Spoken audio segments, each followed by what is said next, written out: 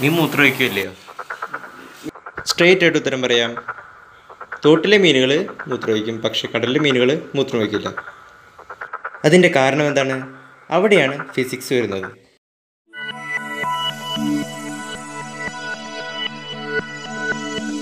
നമ്മൾ വെള്ളത്തിൽ എന്തെങ്കിലും ഇട്ടാൽ ഉണക്കമുന്തിരിയോ വല്ലതും ഇട്ടാൽ കുറച്ച് കഴിയുമ്പോൾ അത് വീർത്തു വരും. പക്ഷേ ഉപ്പിലിട്ട സാധനങ്ങൾ ചുങ്ങും.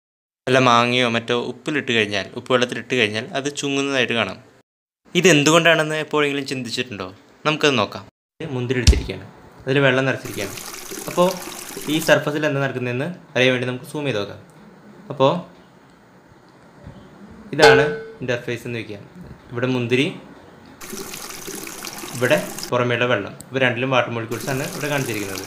അപ്പോൾ ഈ മെംബ്രെയിനെ സെമി പെർമേ ആണെന്ന് പറയാം. അതായത് വെറുതെ ഒരു ഭിത്തിയല്ല സെമി പെർമേബിൾ ആണ് അതായത് ഇത് ചില മോളിക്യൂൾസിനെ കടത്തിവിടും. വാട്ടറിനെയൊക്കെ അങ്ങോട്ടോട്ടും കടത്തിവിടും.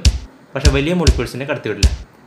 അപ്പോൾ ഇത് രണ്ടിനും ഇവിടെയും വെള്ളമുണ്ട് പുറമേ വെള്ളമുണ്ട് ഈ ഉള്ളിലും വെള്ളമുണ്ട്. അപ്പോൾ ഇവിടെ നിന്ന് ഇങ്ങോട്ടും വെള്ളം പോകും അവിടെ നിന്ന് ഇങ്ങോട്ടും വെള്ളം പോകും. അപ്പോൾ ടോട്ടലായിട്ട് വെള്ളത്തിന്റെ അളവിൽ ഒരു ഭാഗത്തും വ്യത്യാസമില്ല. പക്ഷേ ഇങ്ങനെയല്ല ശരിക്കും ഒരു മുന്തിരി ഉണ്ടാകുക മുന്തിരിയുടെ അകത്ത് വേറെ കുറേ മോളിക്യൂൾസ് ഉണ്ടാവും. ചിലപ്പോൾ ഷുഗർ ആവാം മറ്റ് പല മോളിക്യൂൾസ് ഉണ്ടാവും. അപ്പോൾ ഇവിടെ മുന്തിരിയുടെ അടുത്ത് കുറേ മോളിക്യൂൾസും പുറമെ കുറച്ച് മോളിക്യൂൾസ് ഉണ്ടാവുള്ളൂ. അപ്പോൾ സാധാരണ ഗ്രേഡിയന്റ് അനുസരിച്ച് സാധാരണ ഇത് സെമി പെർമേബിൾ മെംബ്രെയിൻ അല്ലായിരുന്നെങ്കിൽ ഇവിടെ നിന്ന് ഇങ്ങോട്ടാണ് പോകേണ്ടത്. പക്ഷേ ഇവിടെ സെമി പെർമേബിൾ മെംബ്രെയിൻ ആണ്. അതുകൊണ്ട് എങ്ങോട്ടും പോകാൻ സാധിക്കില്ല. അപ്പോൾ ഇവിടെ തന്നെ നിൽക്കും. ഇനി വാട്ടർ മോളിക്യൂൾസിന്റെ സഞ്ചാരപാതയിൽ എന്തൊക്കെയാണ് വ്യത്യാസം വരുന്നത്? ഇവിടെ നിന്ന് ഇങ്ങോട്ട് ഈ മോളിക്യൂൾസ് നേരത്തെ പണ്ടത്തെ പോലെ തന്നെ പോയിക്കൊണ്ടിരിക്കും. പക്ഷേ ഇവിടെ നിന്ന് ഇങ്ങോട്ട് പോകുന്നത് കുറയും. ഇങ്ങോട്ട് ഏതെങ്കിലും ഒരെണ്ണം ചിലപ്പോൾ ഒരെണ്ണം ഇവിടെ അടുത്തുള്ളത് ഒരെണ്ണം ഇങ്ങോട്ട് പോകാം. പക്ഷേ ഇവിടെ നിന്ന് ഇത് വലതുഭാഗത്തുള്ളതുപോലെ ഉള്ളിലേക്ക് പോകുന്ന പോലെ തിരിച്ച് പുറത്തേക്ക് പോകില്ല അപ്പോൾ ഉള്ളിലേക്കാണ് ഏറ്റവും കൂടുതൽ ഫ്ലോ അപ്പോൾ അത് ഉള്ളിലെ മുന്തിരി വീർക്കും. നേരെ തിരിച്ച്. ഇനിയിപ്പോൾ പുറമെയാണ് ഉപ്പ് വെള്ളം ഉണ്ടായിരുന്നത്. പുറമെയാണ് ഉപ്പ് വെള്ളം ഉള്ളത് ഇതാണ് വെള്ളം. പുറമെ അകത്ത് ഇപ്പം വല്ല മാങ്ങയാണ് വെച്ചിരിക്കുന്നതായിരിക്കാം അപ്പോൾ ഇതാണ് മാങ്ങ. അപ്പോൾ മാങ്ങയുടെ അകത്തുള്ള അകത്തുള്ള ഉപ്പ് അല്ലെങ്കിൽ വല്ല വലിയ മോളിക്യൂൾസ് എന്ന് പറയുന്നത് നമുക്കിങ്ങനെ കാണിക്കാം. അപ്പോൾ ഈ പുറമെ നമ്മൾ ഉപ്പുകളാണ് വെച്ചിരിക്കുന്നത്. അപ്പോൾ ഇവിടെ കുറേ മോളിക്യൂൾസ് ഉണ്ട്.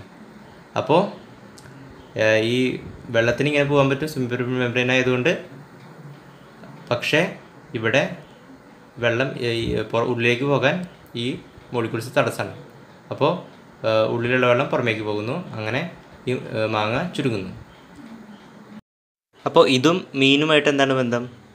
കടലിൽ ജീവിക്കുന്ന മീനുകളുടെ കാര്യം എടുത്ത് നോക്കുക അപ്പോൾ കടലിൽ ഉപ്പ് കൂടുതലും അവയുടെ മീനിന്റെ ശരീരത്തിൽ ഉപ്പ് കുറവാണ്. അപ്പോൾ മീനിന്റെ ഉള്ളിൽ നിന്ന് വെള്ളം പുറത്തേക്ക് പോകുന്നു. അപ്പോൾ അതിന് മൂത്രമൊഴിക്കേണ്ട കാര്യമില്ല. അതിനുള്ളിലേക്ക് വെള്ളം കിട്ടാനാണ് പ്രയാസം. അതുകൊണ്ട് അതെപ്പോഴും കുടിച്ചുകൊണ്ടിരിക്കും വെള്ളം. മറിച്ച് ഫ്രഷ് വാട്ടർ ഫിഷുകൾക്ക് അതായത് തോട്ടിൽ ജീവിക്കുന്ന മീനുകൾക്ക് ഇതിന്റെ ഓപ്പോസിറ്റ് പ്രശ്നമാണുള്ളത്. അതായത് പുറമേയുള്ള സറൗണ്ടിങ്സിനേക്കാളും അതിന്റെ ഉള്ളിൽ ഉപ്പ് അല്ലെങ്കിൽ മറ്റേ പാർട്ടിക്കിൾസ് കൂടുതലാണ്. അതുകൊണ്ട് അതിന്റെ ഉള്ളിലേക്ക് എപ്പോഴും ഉപ്പ് കയറിക്കൊണ്ടിരിക്കും. അപ്പോൾ അത് ഓവർ ആയിട്ട് വീർക്കാതിരിക്കാൻ വേണ്ടിയിട്ട് അത് എപ്പോഴും വെള്ളം പുറത്തേക്ക് കളയേണ്ടി വരും. അപ്പോൾ ഈ തോട്ടിലെ മീനുകളൊക്കെ എപ്പോഴും മൂത്ര വെച്ചുകൊണ്ടിരിക്കുകയാണ്